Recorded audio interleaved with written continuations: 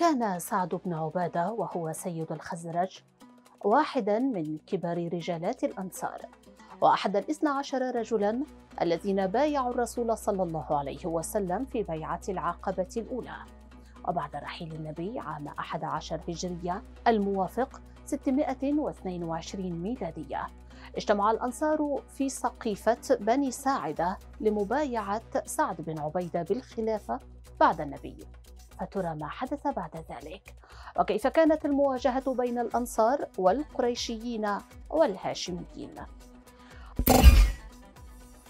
عرف عن سعد بن عبادة كرمه الشديد وقربه الشديد من النبي صلى الله عليه وسلم. ففي فتح مكة كان علي بن أبي طالب يحمل راية المهاجرين في جيش الفتح العظيم. في حين كان سعد بن عبادة يحمل راية الأنصار. وحين هاجر المسلمون إلى المدينة كان كل فرد من الأنصار يأخذ معه إلى داره اثنين أو ثلاثة من المهاجرين. في حين كان سعد بن عبادة يأخذ معه ثمانين رجلا كما ورد في الطبقات الكبرى لابن سعد وفي كتاب الإصابة في تمييز الصحابة لابن حجر العسقلاني.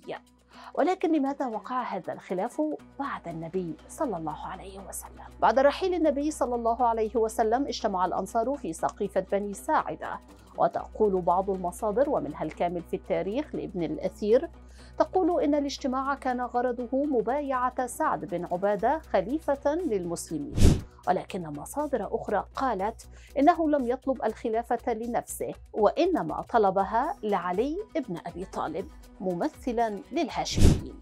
في حين تدخل أبو بكر الصديق وعمر بن الخطاب في هذا الاجتماع وانتهوا إلى أن الحق بالخلافة هم القرشيون وكان ممثلهم أبو بكر الصديق.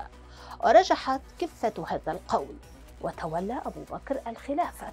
ولكن لم يوافق سعد بن عبادة على هذا الأمر ورفض مبايعته.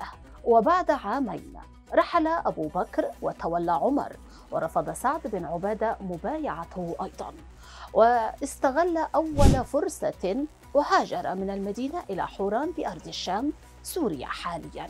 وهناك لقي ربه بطريقة غامضة. أكثر من رواية ذكرها المؤرخون حول نهاية حياة سعد بن عبادة الذي اعتبروه أول المتمردين في التاريخ الإسلامي وأول بذرة شقاق تحدث في الخلافة. فالبعض قال إن الجان هم الذين نالوا منه وذكروا في ذلك الأشعار ونسبوها للجان بحسب ما ورد في طبقات دمشق لابن عساكر. وبين سيد الخزرج سعد بن عبادة رميناه بسهمين فلم نخطئ فؤاده. في حين ذكرت بعض الروايات ومنها العقد الفريد لابن عبد ربه أن أصابع الاتهام توجهت للخليفة عمر بن الخطاب. حيث أرسل رجلا لسعد بن عبادة في حوران بسوريا وطلب منه مبايعة الخليفة وحين رفض نال منه. بعض المصادر الحديثة تناولت تلك الحادثة بطريقة مغايرة وشككت في قصص الرواة المسلمين من الطبري لابن عساكر لابن عبد ربه وقالوا إن سعد بن عبادة رحل عن الحياة بشكل طبيعي ولم ينل منه أحد وإنما يتم ترديده رواية النيل منه كنوع من المكايدة السياسية.